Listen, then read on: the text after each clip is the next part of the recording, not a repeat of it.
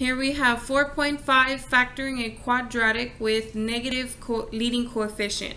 So as long as your um, expression here is in descending order, meaning that the variable with the highest exponent is first and that exponent decreases along the way, and here it does. The exponent is 2, the exponent is 1, and then there's no x's at all, meaning the exponent is 0.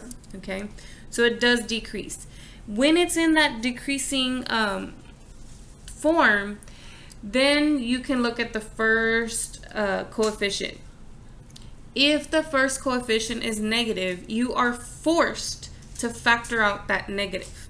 Now, while you're factoring out that negative, you can also factor out the GCF. It's part of the GCF, okay?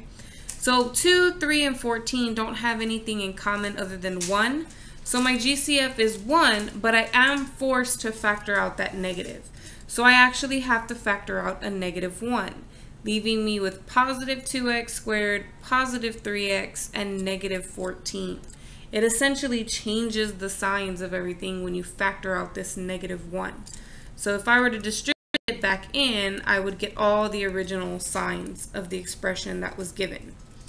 Then I have to further finish um, to factor completely and factor this trinomial that's inside there. So 2 times negative 14 is negative 28. And then the factors that subtract 23 would be 4 times 7 3 having to be positive, so the bigger number will be positive. So then I can split this into 2x squared minus 4x plus 7x minus 14. Factor by grouping 2x, x minus 2 plus 7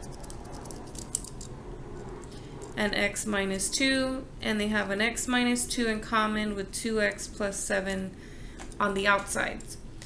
That is not the final answer. I cannot box this. And the reason why is because if I multiply this out, I'm only going to get what was inside the parentheses. I'm not going to get the original expression. So you have to remember to put your GCF, even if it's a negative, in the front when you're all done factoring what was in the parentheses. And so this is my final answer.